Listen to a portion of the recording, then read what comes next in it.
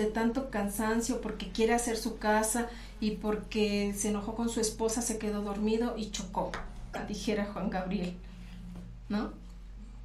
Hay que mejorarnos y hay que, sobre todo, pensar, pensar, pensar, concientizar, ¿qué es lo que estoy haciendo con mi vida?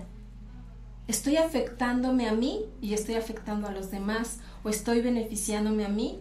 Y eso hay que trabajarlo diario, no nada más este, una vez a la semana o una vez al mes o al año, no, diario, diario, saber qué autoestima tengo, qué autoconfianza, cómo me comporto con los demás, cómo voy, cómo la llevo, saludo, no saludo, quiero, abrazo, castigo nada más o refuerzo.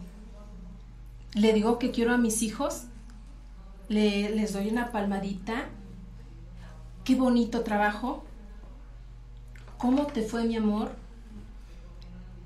O nada más estamos enojados siempre y al final de cuentas no arreglamos nada.